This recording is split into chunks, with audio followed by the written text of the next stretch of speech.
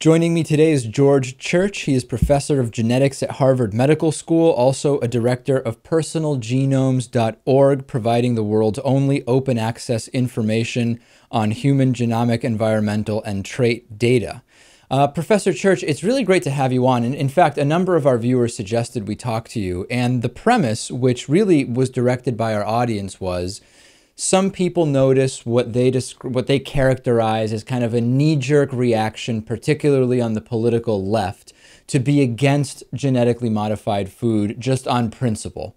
And the the suggestion from the audience was talk to somebody like Professor Church and let's actually figure out what scientific data do researchers have about the health effects of genetically modified food that are separate from whether that food is or is not organic, is or is not processed foods, and let's see if we can really drill, drill that part down. So I think that's a good place to start. What research does exist about specifically the health effects of food that has been genetically modified?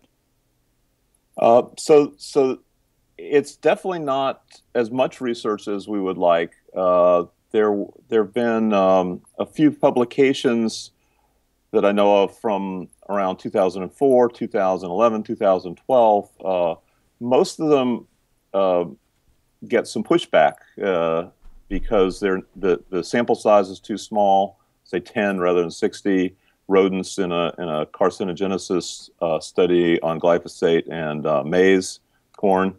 Um, and, and and you could say, and sometimes the responses to the criticisms aren't aren't satisfyingly direct. In other words, they aren't really answering the criticisms. But nevertheless, I think the main thing is uh, we need more research, um, like almost anything involving uh, foods and drugs and the FDA, USDA, and so forth. We it, it's um, uh, probably underfunded, understudied. Uh, but they're relatively there's studies on rodents, there's studies on farm animals that have been fed uh, these foods for a long time. Humans obviously have been in a less controlled manner, less controlled scientifically. Um, but anyway, there's just there's not that much data, and like like things where there are high economic uh, uh, stakes, like global warming and so forth, there are going to be people on both sides. So, is what what would be a fair statement? In other words, in the abundance of caution and speaking only about what we have we have some data about are you comfortable at all right now falling on the side that there is a health risk to consuming genetically modified foods? Are you would you fall more on the side of saying that you think that there is no risk or simply that it is a question mark? Uh, maybe none of those three. I would say there is a health risk of eating foods in general. Uh, and it's not a one size fits all, meaning that there, and I, based on the data that I've seen so far, um, there's much greater health risks in the food supply than the GM part of it. In other words, there are health risks to certain individuals due to diabetes because uh, there's sucrose in, in foods more than ever before. Hmm. There's gluten, there's lactose, there's cholesterol. There are all kinds of things. And I'm very much pro labeling um, not just labeling for GM, but for various other things.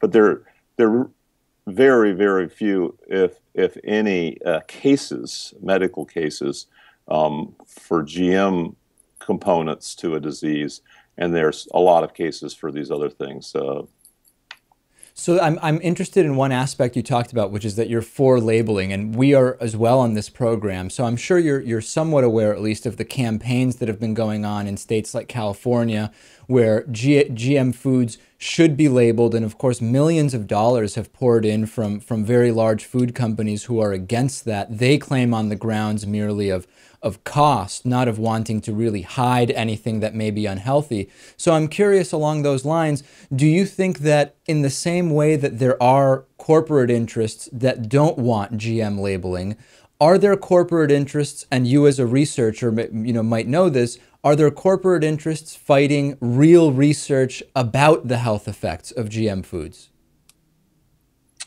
Uh, I, I'm not aware of anyone fighting against doing research. I think there are people that might be critiquing research that is that, that's uh, being published um, or was or is being designed in a shoddy way. Hmm. The best time to critique these studies is, of course, before they occur. Uh, the best way to make them better studies is to f- fund them. Um, you know, there may not there may not be a rush to fund to, to fund something that you already believe to be true. In other words, a, a non-scientist, uh, a non-scientist CEO might not want to uh, fund something that they believe is not an issue. Um, but they, I don't think they would necessarily block it. Um, hmm. But there might be cases uh, of, of people feeling it's a waste of money.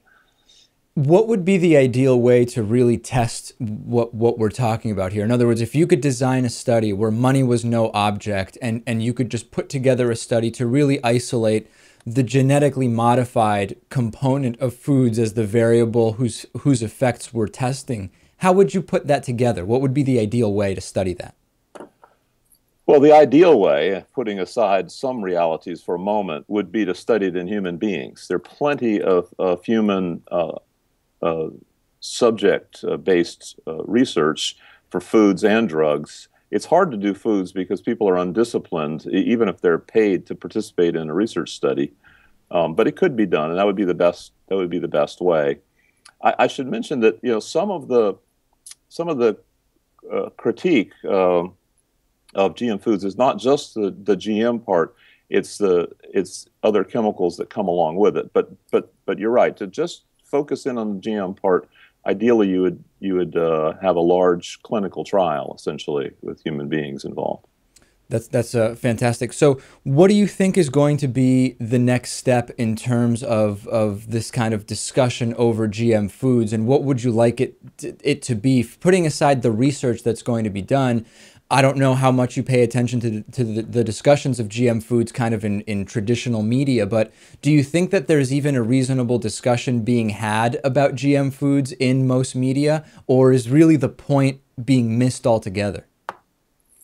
Uh, I, I, tend to think there, there is a reasonable discussion. I, I think there's great value in having uh, con- uh, a little controversy, a little uh, discussion, because it it has the possibility of getting people to spend a little more time thinking about the science. If they think that, especially if they think that's how it's going to be decided in the marketplace, if they think science is going to be part of that, then they will get more up to speed. And anything that that brings our population up to speed on science would be great, um, because that is there's many technologies, not just GM foods, where we need to have a very highly educated population. Um, so that would that would be one um, good aspect of the current conversation that's going on. Uh, a little emotion is not necessarily a harmful thing, uh, but in but there has to be mixed in and is, I think, with uh, looking at, at the data. The problem is there's more heat than light. Uh, there's not quite as much uh, data as there should be. Hmm. Uh, I think going forward, the labeling is going to be key, and more and more, I think people are going to not try to find an umbrella label like these are good foods and these are bad foods. You know, like everything labeled organic is good uh, because it's much more fine grained than that. It's much more personalized. Just like medicine needs to be personalized, your food needs to be as well. So you'll go to the supermarket with, say, your cell phone as a barcode scanner, or you'll just decide before you go there using your computer to personalize your diet. Um, and I suspect that that once people go into detail about the risks of various foods, uh, they'll find that GM is the least of their worries. They should mm. be hmm. worrying about cholesterol and and uh, cane sugar and uh, and and uh, and uh, bacteria, pathogenic bacteria that are present on their foods uh, that aren't necessarily been tested. We've been speaking with George Church. He's professor of genetics at Harvard Medical School. Also, check out personalgenomes.org, where Professor Church is the director. Really a pleasure to have you on, sir. Oh, my pleasure. Thank you.